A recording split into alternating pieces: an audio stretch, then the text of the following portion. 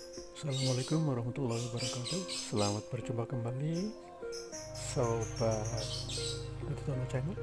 Kali ini saya menampilkan tabu lampot. Apa tabu lampot itu? Tabu lampot ya merupakan akronim daripada tanaman buah dalam pot Kali ini yang akan saya liput adalah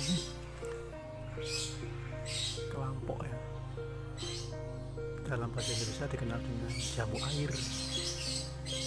Selain ini.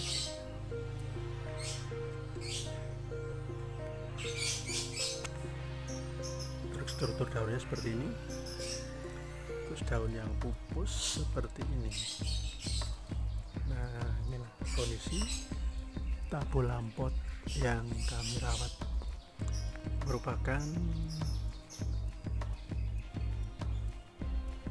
salah satu jenis daripada tamu lapot yang ada yaitu jambu air bunganya satu tangkai dua tiga empat lima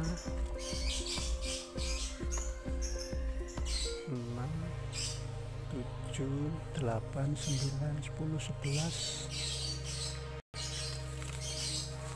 di sini.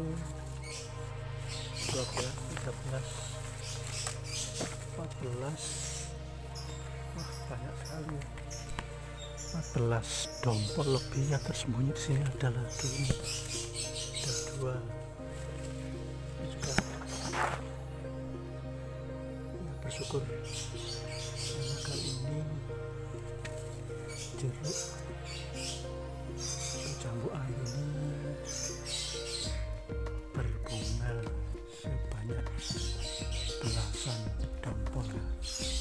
mudah-mudahan perkembangan berikutnya nanti berhasil menjadi besar. Ini berapa sudah dibungkus sebagai antisipasi terhadap penyerangan hama biasanya yang datang sini adalah lalat buah ya.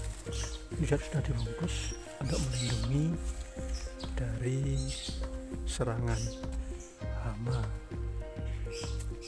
inilah sementara yang bisa saya sampaikan lampu lambot ini merupakan uh, tahun ke satu ya setelah panen cangkokan.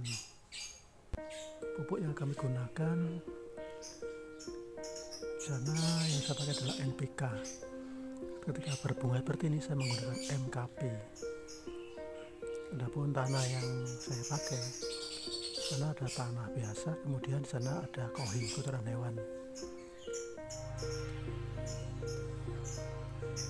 inilah sekilas tentang teman buah dalam dan beberapa hama di antaranya sini. Nah, ini sudah ada hamanya.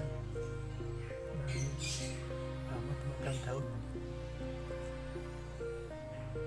nah ini adalah hama pemakan daun sehingga struktur daunnya ini berlubang-lubang. Karena memang ya daun yang muda di sini juga ada hama yang lepas semut ya. Juga ada kutu putih. Kutu putih kalau masih seperti ini bisa langsung kita tekan aja. Tekan begini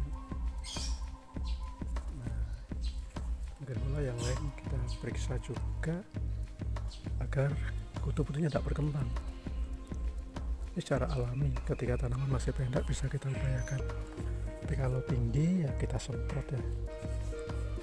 Demikian yang bisa saya sampaikan. Mudah-mudahan tabu lampot jambu air ini nanti bisa lebih besar dan tidak banyak kerontokan.